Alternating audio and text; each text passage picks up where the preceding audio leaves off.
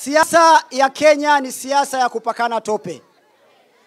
Asubuhi William Ruto, saa saba William Ruto, saa kumi William Ruto, saa moja, saa mbili, saa nne, wakilala, wakiamka.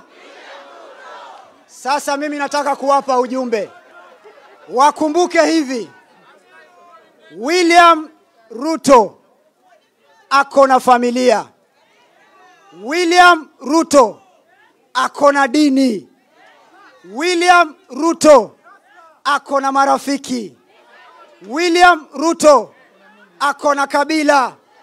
William Ruto ako na Mungu.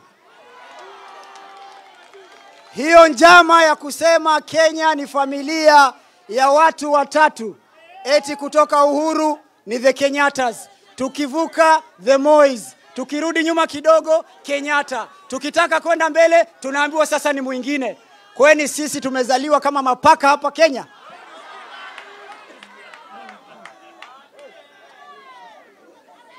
Nauliza, mnijibu, sisi hatutoshi? Sisi hatutoshi? Naona siasa vile ambavyo inachezwa sasa, tunaambiwa ni katiba. Mimi nauliza, hii katiba imekukosea we mwananchi? Hii katiba imekudhulumu? Eti wanasema wanataka kuunganisha Wakenya. Utaunganisha vipi Wakenya na wewe unabagua watu wengine, unashika watu wengine na unasema unataka kuunganisha Wakenya? Sasa nitoboe ama nisitoboe? Nitoboe ama nisitoboe?